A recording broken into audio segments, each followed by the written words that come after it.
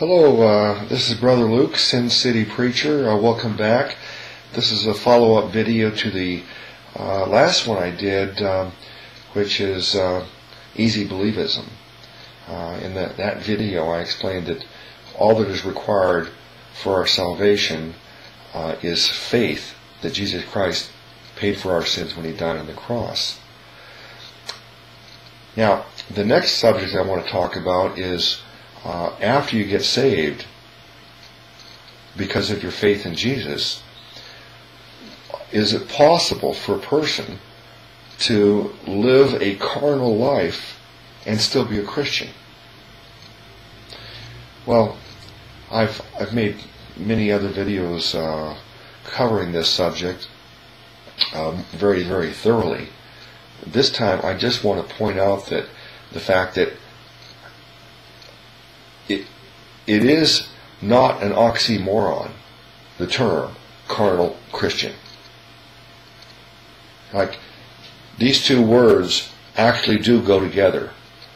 There, there are Christians who are uh, walking with the Lord, serving the Lord, and then there are Christians that are carnal. Both of these Christians have the promise of eternal life in heaven. They've, all, they've received the gift of salvation and eternal life because of their faith in Jesus Christ.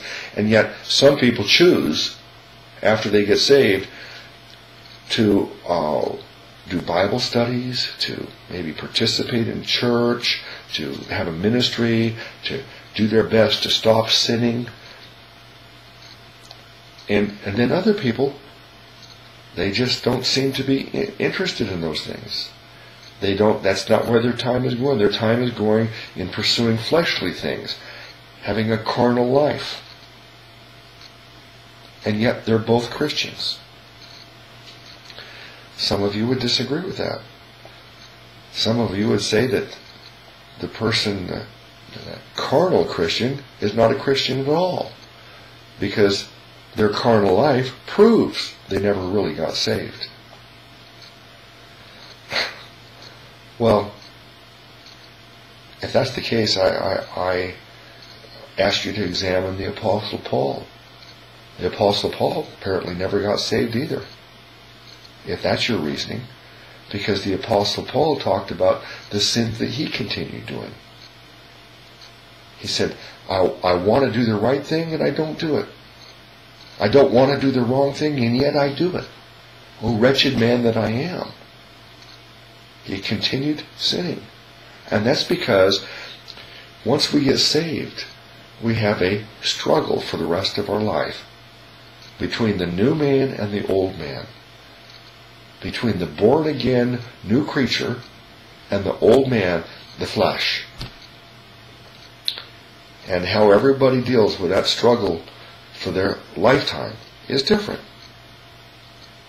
Some people work real hard at getting the victory. And, and, and, and some people, uh, they fail quite, quite a bit in their walk. Some people don't seem to be making much of an attempt at all. They're carnal Christians.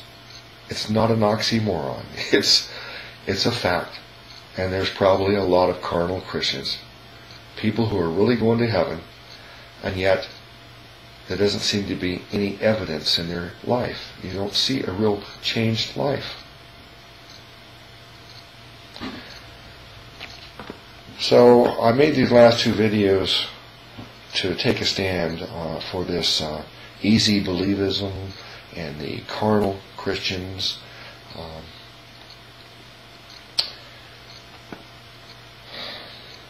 We do not have to prove our salvation through our works either. Uh, I, am certainly not against doing good works. I'm doing everything I can to do good works. I preach the gospel four or five days a week. I make YouTube videos. I, I, I'm trying to do everything I can to walk the walk. To be a doer of the word, not simply a hearer of the word. But that's not what justifies me. That's not what proves my salvation. and another person that is doing nothing. They simply trusted Jesus Christ as their Savior, and that they never have any spiritual growth or maturity during their life. They're just as much saved as I am. All right. I want you to think about that.